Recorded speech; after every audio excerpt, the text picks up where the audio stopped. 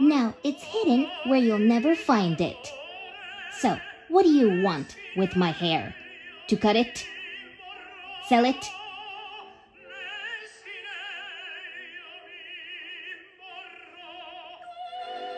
Wait, you don't want my hair?